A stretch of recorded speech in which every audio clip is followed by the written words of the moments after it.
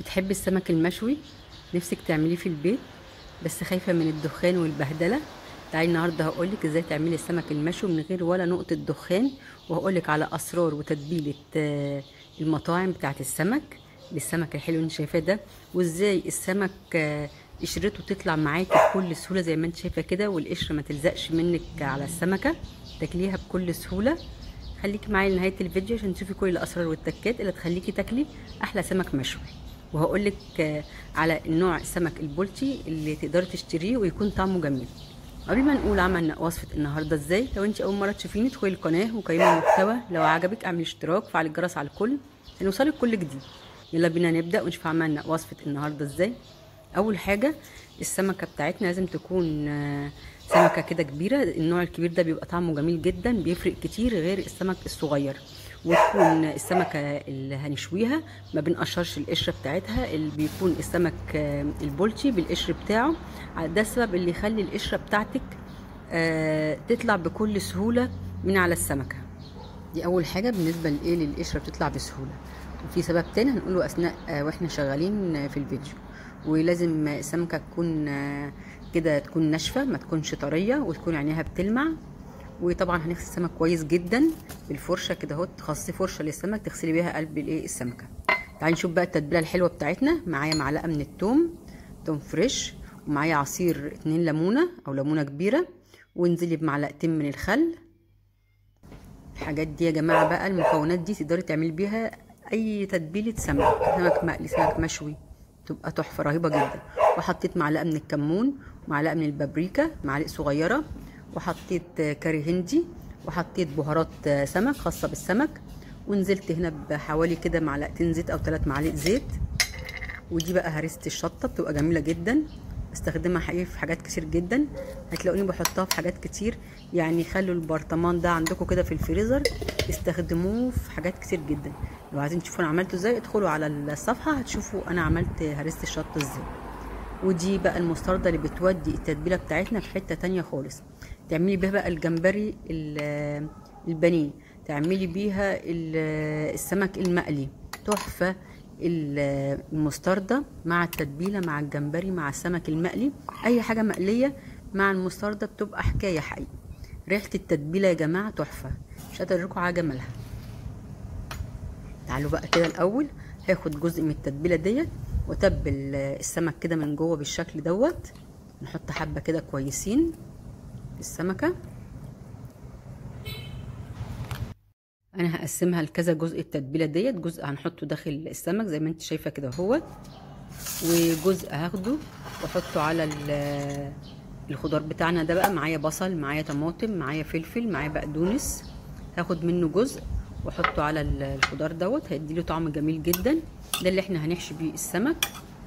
بيفرق كتير جدا في طعم السمك وبرده بيتاكل بيبقى جميل جدا. طبعا الخضار ده انت اللي منضفاه وانت اللي عاملاه فبتاكليه عادي جدا. يبقى طعمه حلو قوي لما يبقى داخل السمكة.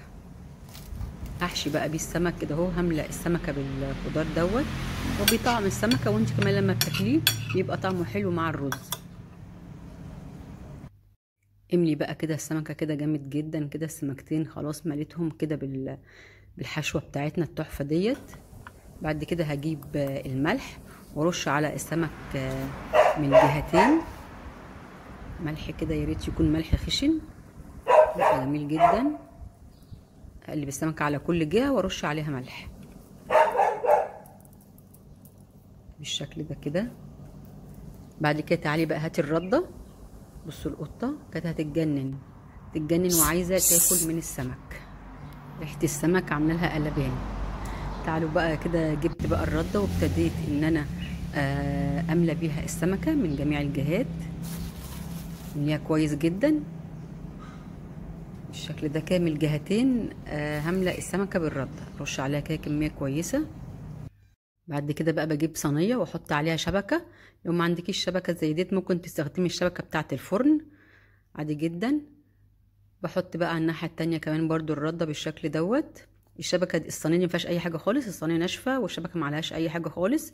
هحطها بقى في الفرن هحط الرف الأوسط اشغل الشواية وهشغل الفرن. هشغل الاتنين مع بعض. لو انت عندك الشواية بتشتغل لوحدها والفرن بيشتغل لوحده الأول هتشغلي الفرن لغاية ما تحسي كده هو السمك هياخد نص ساعة آه، تسوية. هتشغلي ال- الفرن تلاقي السمك استوى بعد كده شغلي الشواية وخليه بقى ياخد اللون اللي هو الأسمر اللي انت بتشوفيه دوت. كده هيبقى جميل جدا ويستوي.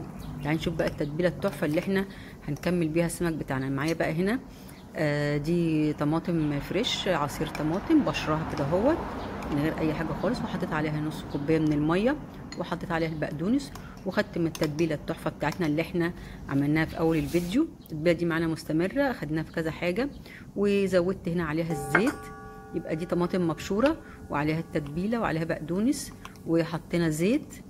تحفة يا جماعة ال- الخلطة بتاعتنا ديت اللي إحنا دلوقتي هنحطها على السمك. وحطيت جزر إلى دي بقى هنركنها دلوقتي كده على جنب. ومعلومة تانية حابة أقول لك عليها إن السمك لما بنيجي نحطه في الفرن لازم يكون الفرن سخن جدا. ده سبب من أسباب إن القشرة بتطلع معايا بكل سهولة. مش عايزة الفرن يكون بارد وأدخل جوه السمك. لازم الفرن يكون سخن جدا آه لما ندخل عليه السمك. بصي خد بقى كده وش وهقلبه على الناحية التانية. هي كل كده ناحية بتاخد لها حوالي آه 15 دقيقة. بالشكل ده كده اهوت نقلب على الناحية التانية. لو لقيتي كده حتة الردة اتشالت من عليها آه حطي عليها حبة ردة زي ما أنا بحط كده اهو لأن هو السمك المشوي ردة يعني ردة تلاقيها محروقة كده من على الوش أكنك عاملاها على الصاجة بالظبط زي بتاع زمان. أنا قبل كده عملته لكم على الصاجة في فيديو قبل كده كان جميل جدا. فدي عشان ناخد نفس شكل السمك المشوي بتاع الصاجة فاحنا بنشغل الشواية. يعني أول ما تلاقيه أخد استوى كده اهوت أروح مطلعاه على الرف اللي فوق وأشغل الشواية عليه ياخد اللون بتاع الشوي كده على الصاجه بالشكل دوت. بصي فورا بقى دلوقتي وهو لسه سخن كده اهوت نبتدي نحط عليه ال- التتبيلة التحفة بتاعتنا اللي إحنا لسه عاملينها مع بعض. بصي بالشكل ده كده اهوت الريحة بقى السمك وهو سخن مع التتبيلة بيطلع ريحة جميلة جدا. خليه يشرب بقى كده وهحط كمان داخل السمك عند ال- الخلطة أو الحشوة اللي إحنا حاطينها عشان قلبه يشرب ومن بره يشرب.